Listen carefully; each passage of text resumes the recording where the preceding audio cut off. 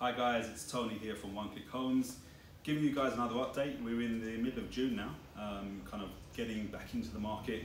Offices are open again a couple of weeks ago. I thought I'd give you guys an update as to what's going on in the sales and the lettings market. Um, halfway through the soft lockdown, it's been an incredible uh, couple of weeks for us in June. Lettings market has been fantastic. The guys have been letting everything that's coming onto the market.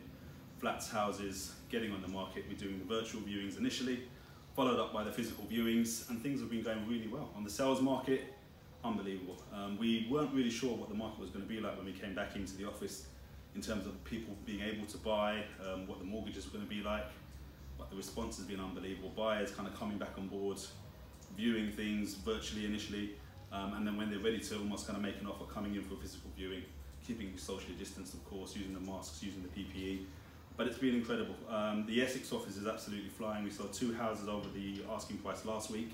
Leyton office, four instructions this week.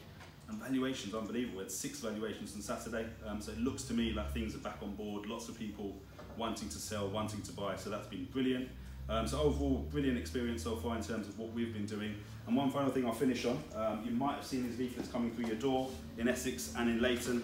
Um, it's free legal fees. So any sales property that's coming onto the market um, over the next kind of month or so, we are offering a, an offer where we'll put it on the market for you. We'll cover your legal fees. So solicitors fees covered. Any questions, that give us a shout anytime. One Click Homes, London or Essex. Speak to you soon. Cheers.